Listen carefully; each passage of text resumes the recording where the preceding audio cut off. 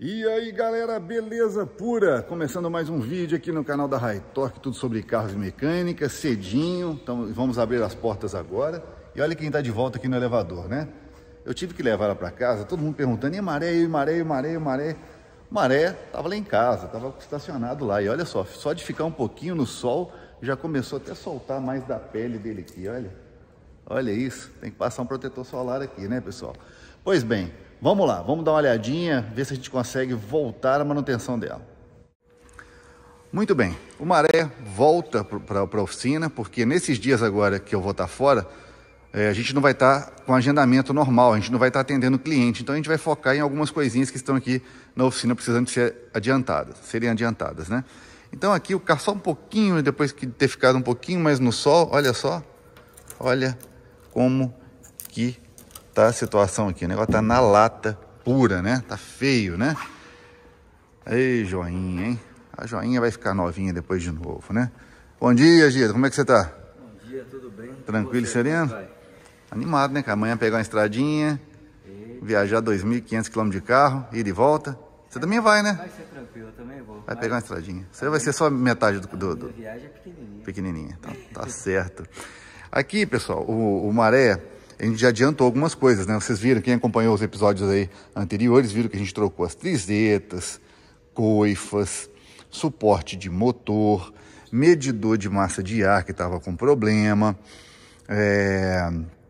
outras coisinhas mais aí, bomba de combustível, né? A bomba estava podre, né? Eu troquei o módulo completo, troquei a bateria, tinha, se não me engano, também tinha fusível também queimado, tinha um, algumas outras coisinhas aí que estavam fazendo o carro não funcionar perfeitamente. Mas ainda tem muita coisa para ser feita nele, inclusive um probleminha que dá intermitente de na hora de você dar a partida e ele soltar fumaça. Vamos ver se, tá, se continua? Vamos lá, Gida, liga para nós. Pode ligar.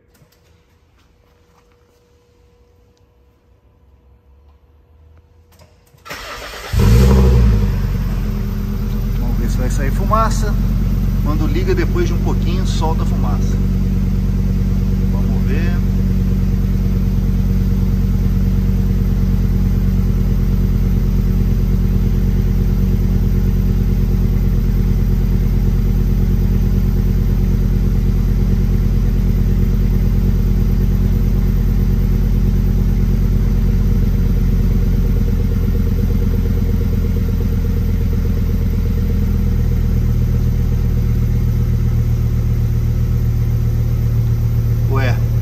Fumaça mais, Dida. Pelo menos. Dá uma aceleradinha de leve aí. Ah, tá aqui, tá chegando. Só de queima normal mesmo. Deixa na lenta. É, aquela, aquele tucho de fumaça que subia não tá saindo mais. Uh, ontem também, na hora que você pegou lá em casa, não saiu, né? Não, não saiu, não. Acho que naquela volta que eu dei, levando ela lá para casa, subindo e acelerando, pode ter queimado o resto de óleo que estava talvez no escapamento, né? Exatamente. Pode ser, viu, pessoal? Parece.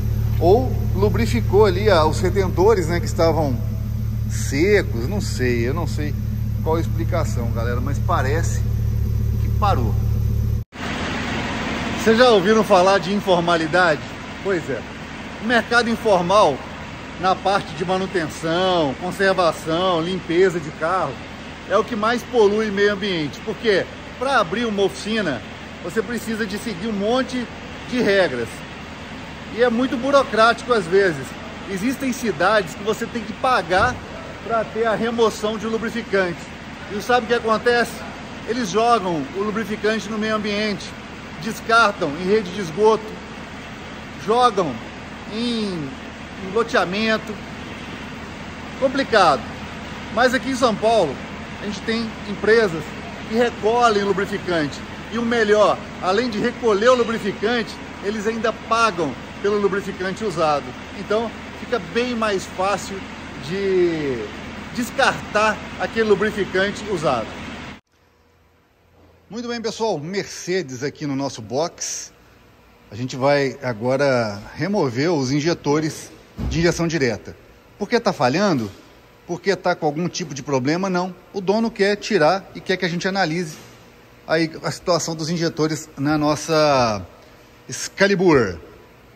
Só que tem um detalhe, esse Mercedes tem 137 mil quilômetros rodados, né? é um carro que está com quilometragem bem mais alta do que muitos TSI que a gente pega e tem uma localização dos injetores muito mais fáceis aqui, né? E eu acho que esse carro não vai ter problema nos injetores não, eu acho que vão ser aprovados. O dono quer fazer porque ele é um cara muito cuidadoso, ele quer saber como tá. Então é até bom para a gente poder ter um parâmetro se a injeção de combustível de um Mercedes é melhor do que um TSI. Vamos lá, o dono desse Audi com 70 mil quilômetros está reclamando que está baixando o nível da água aí, está tendo que completar de vez em quando. Vamos levantar e ver se tem vazamento embaixo. A gente está suspeitando da bomba d'água. Protetor de cárter removido, vamos dar uma olhadinha. Opa, tem uma marca de escorrida aqui, hein? A famosa marca de escorrida. Ih, tá até uma olhadinha ali em cima, ó. Vazamento d'água, adivinha de onde? Da bomba d'água. Ah, 70 mil quilômetros tá vazando. E o mais interessante é ver colega mecânico falando, não, se cuidar bem, é, não vaza não. É, isso é, é, cuida, é falta de cuidado. Que falta de cuidado, meu amigo. Isso aqui, meu amigo, carro com 70 mil, tá com aditivo na proporção, tá limpo o sistema e tá com vazamento. E outra coisa, para completar, um carro de 70 mil com vazamento entre motor e câmbio. Aqui, ó, um vazamento aqui também de, de óleo, ó, entre o motor e câmbio. E olha o óleo pingando aqui na bucha aqui, ó, nesse tirante aqui de, de, de, torção do motor, já deve ter danificado a bucha também, óleo caindo aqui em cima. Que maravilha, eu amo esses carros. E aí, bem, como é que tá? Regulou a válvula? Sim, Bonitinho? Válvula. Muito vazamento aí de água aí? Rapaz, tá aí uma coisa que não se encontra nessas... Nesses carros, né? Nesses carros, nessa marca. Vazamento d'água, nem carcaça de nada, nem nada, válvula termostática. A gente tá mexendo aqui desde quando a gente inaugurou. Acho que eu nunca troquei uma válvula termostática de um Honda, cara. Eu nunca troquei uma bomba d'água. Bomba d'água. Bomba d'água, não trocamos bomba d'água, válvula termostática, vazamento d'água, mangueira, abraçadeira. Não, esquece. Pode contar no dedo se alguma abraçadeira deu problema. É incrível, por que essa diferença? Bom, colocamos aqui o injetor, pessoal, do Mercedes para teste. Os testes elétricos, ok. E está fazendo agora o potência máxima. Como que a gente sabe que o injetor tá bom? Nesse teste aqui, ó, nesses valores aqui, ó, entre o 21,91 e o 37,61 são os limites. Quando ele fica com a barra no centro, mais para o centro ou pendendo um pouquinho para a direita, quer dizer que o injetor está muito bom, né? Que o injetor está com a vazão ideal, né? Na, nem, com esse, nem com excesso e nem com falta. E olha só, um bico com quase 140 mil quilômetros. E olha só, perfeito, olha. Bomba d'água removida, né? Essa aqui é aquela bomba que tem controle ele eletrônico, galera, tá? Aqui, ela tem esse, esse motor elétrico aqui, ela tem o um controle, né, de fluxo de água. Olha só, vaza na carcaça dela, né? É batata. E não tem essa, ah, porque eu cuido do carro. Não, é que cuidar do carro, é, tem, cuidar do carro faz diferença? Faz, mas tem peça que você pode cuidar do jeito que você quiser tá? Que vai dar BO. Então, tá aqui. E a gente vai colocar aqui uma, uma zerada. By All Parts Net. Aqui, ó. Completona. Vem até com a correinha. Vem até a correia, ó. A correia para substituir de acionamento. E é isso aí, ó. Show. Esses motores que utilizam injeção direta e indireta, eles... Ah, que acontece? Carbonizam menos aqui a admissão. Repare que está até limpo essa parte, mas lá no pé da válvula, ó, deixa eu chegar pertinho aqui para mostrar para vocês. Aí no pé da válvula está carbonizado, do mesmo jeito, tá vendo? Carboniza muito, é mais bem menos daquele que não tem os bicos de injeção de Galera, eu dei uma saidinha porque eu estou preparando para viajar. O pessoal já montou os injetores, os injetores não estavam sujos, não tinham problema de vazão. E acredite, apesar de ser injeção direta, baixíssima carbonização, do jeito que não precisa nem de fazer limpeza, né? Ao contrário do nosso é, glorioso Q3, que além de, de trocar a bomba da água, vai ter que fazer descarbonização. Muito bem, senhoras e senhores, o novo, né, o New City, está ah, sendo preparado aqui para o Gida. O Gida vai a Belo Horizonte voltar, fazer um teste para mim de consumo em rodovia. E eu fiquei pensando, por que a Honda teve que gastar tanta grana para colocar, né, desenvolver esse motor com injeção direta, colocar no Brasil, sendo que ela tinha um motor já prontinho, né, para colocar um motor muito bom, valente, competente, esse 1.8, que o consumo, vou dizer para vocês, muito parecido. Eu acho que esse motor também não vai atender às normas de emissões evaporativas também, tá? Eu acho que esse motor vai ser descontinuado. E se ele for descontinuado, como o Civic saiu de linha, eu acho que a gente não vai ter então o HRV com esse motor também, hein? Eu sei lá, eu acho. Porque não, eu acho que ficaria muito legal esse motor ali. Mas a DG cabe? Cabe, pessoal, cabe. A plataforma é praticamente a mesma, né? Se você quiser colocar aquele motor 1.8 que você coloca, ah, é uma plataforma nova? Não, é uma plataforma melhorada. É uma plataforma nova no sentido de receber é, novos materiais, reforços, mas basicamente, estruturalmente falando, a parte de espaço, de fixação, daria para entrar o motor 1.8 aqui. Mas eu acho que esse motor ali, ó, também entrou naquela lista lá dos que não vão conseguir atender as novas normas de emissões e por isso entrou esse motor 1.5 com injeção direta. Ah, a injeção direta entrou por causa de economia de combustível.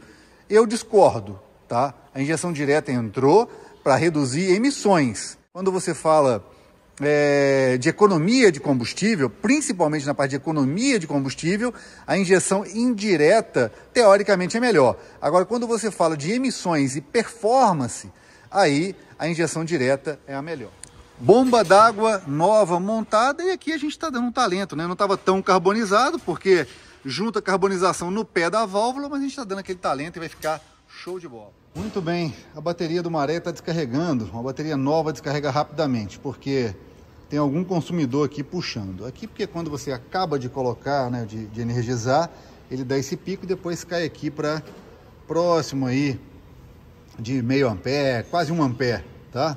Hora de consumo. Então, essa bateria ela vai descarregar, porque tem um consumidor. Como é que eu vou descobrir onde eu tenho um problema aqui?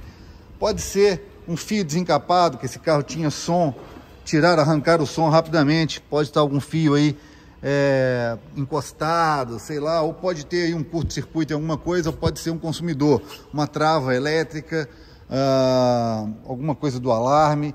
Então a gente vai ter que ir na parte elétrica dele descobrir o que está fazendo, porque quando o carro está desligado em stand-by, o consumo tem que ser mínimo. Às vezes, alguma coisa de alarme, memória do aparelho de som, mas que consome muito pouco e não essa quantidade. Bom, e aparentemente, a gente está suspeitando de algum problema em trava, porque o carro está todo fechado e ó, não trava.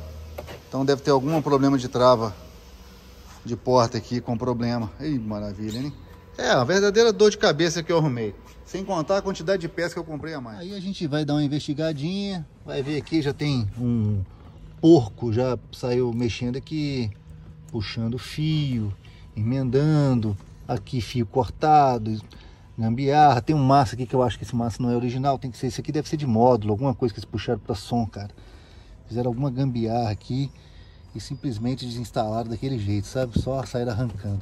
Vamos fazer o seguinte, desliga o conector para mim desse modo, os dois conectores. Ó, vai ter esse conector, esses dois conectores e tem um conector do lado de cá também, quer ver? Ilumina aqui que você vai ver. Vai conseguir tirar, tem as travinhas aí certinhas. Esse e esse aí, sempre tudo do jogo, do jogo. Ó, desligamos o módulo de conforto. Ali está energizado, aqui para né, de, de, funcionar a trava. Vamos ver se o consumo muda. Diminui um pouquinho, diminui um pouquinho. Vamos ver agora naquele entrar no... Aí, ó. Aí, agora, ó. ó. Agora tá no consumo aceitável, tá só diminuindo, ó. Tá vendo? Baixinho. É, ó, só caindo. Esse consumo aí é consumo de memória, né, de power LED, às vezes de, de de, de coisa de injeção, né? alimentação da central eletrônica, tem algumas coisas que são energizadas, ó. Aí, galera, ó, eu tô com um problema naquele módulo lá dentro, talvez aquela gambiarra de fios que tá lá dentro, que puxaram, deve estar interferindo no funcionamento e acabando drenando a bateria. Então a gente tem que trabalhar. Descobrimos né, que tem alguma coisa a ver com a parte de conforto, de trava elétrica, o que for, e a gente tem que agora Bom, descobrir. Eu preciso encerrar esse vídeo. É, pegar uma estradinha, uma estradinha pequenininha. Só vou viajar agora dois mil e poucos quilômetros com essa belezinha aí, ó. Essa belezinha, então não vai dar para poder continuar com o diagnóstico aqui. Espero que a galera consiga é, gravar as imagens para poder colocar para vocês depois no ar aí de alguns procedimentos que vai ser feito nela. E você já ouviu falar que tem B12 para colocar no carro? Pois é, eu tomei uma injeção de B12 agora. Ai, maravilha, hein? Hum, é, aquela injeçãozinha oleosa, dói um pouquinho, né? Mas é isso, pessoal. Bora, que eu tenho que ajeitar as coisas em casa para pegar a estrada com segurança. Um abraço e até o próximo vídeo.